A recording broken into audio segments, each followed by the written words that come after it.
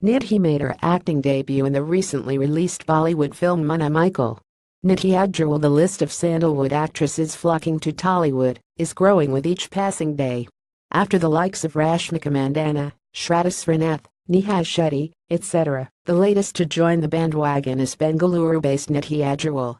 The actress has been a strong contender to play the female protagonist in Naga Chaitanya's forthcoming film Savyasachi and was given a narration recently it is believed that the other modalities around her contract are being worked out. The makers were looking for a new face with South Indian looks. They felt Nidhhi was apt. Also, she's a very good dancer, informs a source. Notably, Nidhhi made her acting debut in the recently released Bollywood film Munna Michael. Tags Nidhhi Agerwal, Munna Michael, Rashmika Mandanna,